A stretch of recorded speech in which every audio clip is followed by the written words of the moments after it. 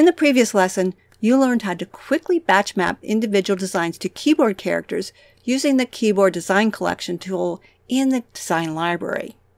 When all the designs are in one design file, we'll need to map each one individually, and we'll need to do that one from the embroidery workspace. So in the design library, go to the Keyboard Design Collection folder and open up the cross-stitch file. Notice that this is not an EMB grade A or grade B. Now the name of this file, cross-stitch 10 SPI. The 10 SPI is a hand cross-stitch term that simply means there are 10 X's per inch. So these little X's are pretty small. This design was created using the cross-stitch gem.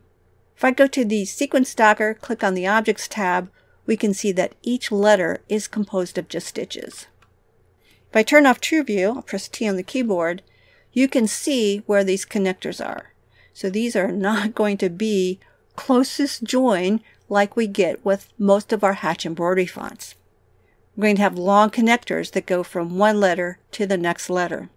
I'll turn True View back on. I'm going to close a couple dockers here and I'll open the Keyboard Design Collection Docker. Here you can see the doodle font that we created in the last lesson. So the next step is to create a new collection. But before we do that, we need to determine the reference height for our set. We can select a letter and we can either use the height up here or we can just use the letter. I like to use the letter.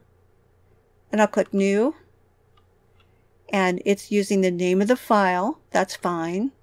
The reference height, I'll use selection. Notice that now it puts that letter in that image. 10% is good. And the recommended height range here. Now, these are manual stitches only, but they're just straight. What we have to be careful of here is getting those stitches too short. Now remember, this is not a grade A file. This is actually a grade D.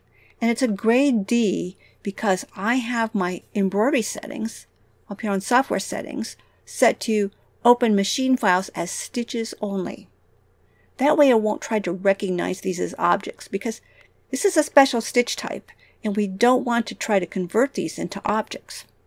Now when we're working with a grade C or a D file, we need to think about scalability and the recommendation for machine files is only plus or minus 10%. So if we go plus or minus 10% on this, that would be 3.8 millimeters, and we'll just round that off to 4. So I'll say 34 millimeters to 42 millimeters. And it would have been smart if I had gone in there and measured one of those little stitches because they're pretty short.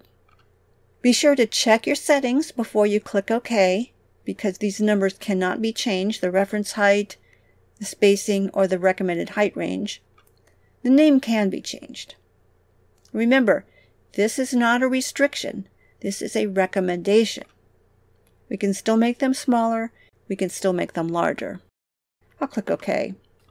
Now this is an uppercase only set, so you might want to pick uppercase only so that it's easier to see just the letters.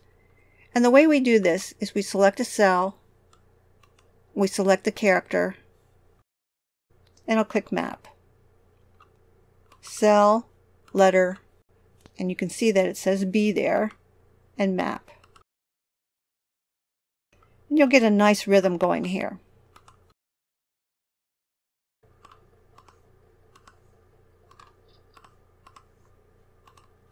And our cross-stitch letters are mapped.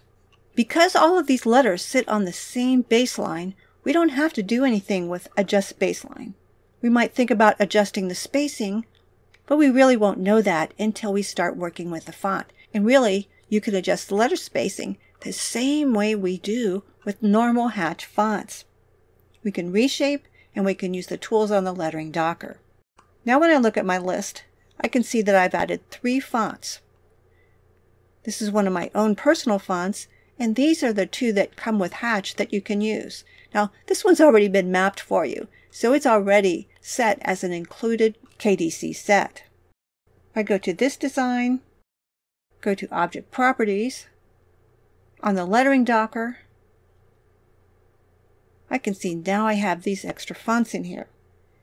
The KDC list will only show the ones that you've added.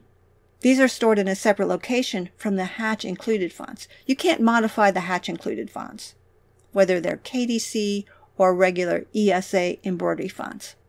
To see where they're saved on your computer, you'll go to Program Data, Wilcom, Hatch Embroidery, and your Fonts folder.